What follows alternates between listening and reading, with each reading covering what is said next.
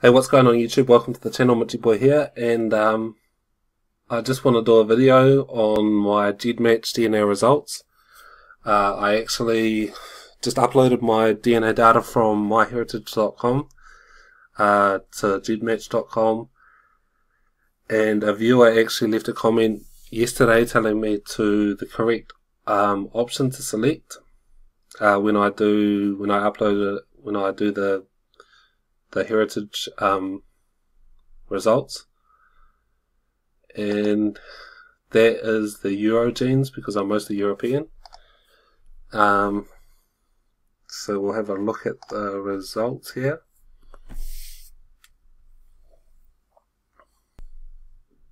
And uh, we have North Atlantic 49.56, Baltic 26.61, West Med, which I assume is West Mediterranean, West Asian 4.3, East Mediterranean 4.94, Red Sea 0.05, South Asian 0.79, Siberian 0.76, and American Indian 0.21.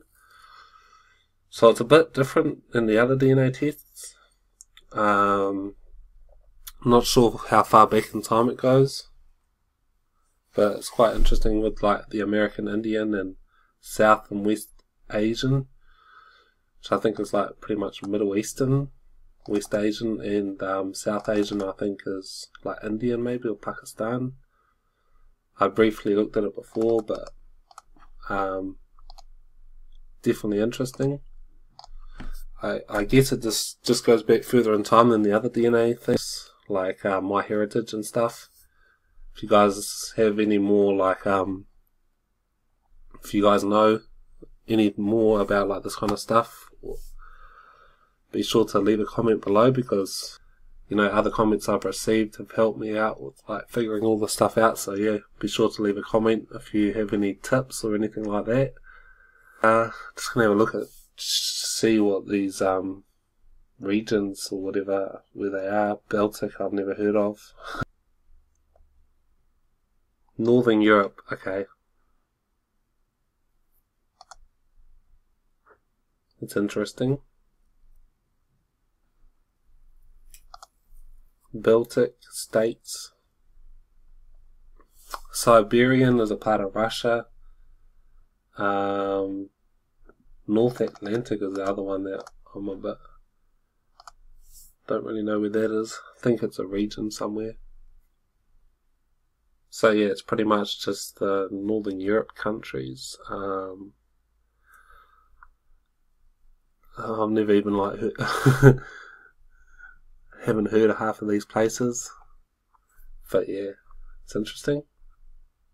Soviet occupation. So I guess that's near Russia or something like that. Those countries. Um, North Atlantic.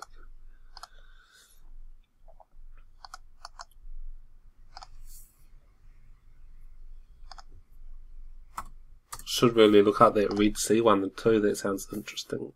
I don't know where that is. Don't know where the North Atlantic is. Ah, Red Sea.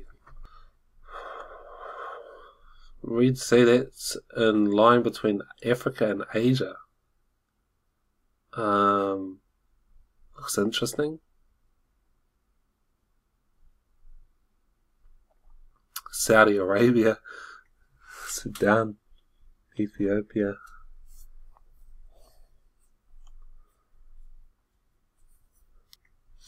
Anyway, yeah, that's pretty much it. Um, thanks for watching again, and if you have any tips or any suggestions, or if you have any tips or suggestions, if you have any advice or anything like that, leave a comment below. And um, yeah,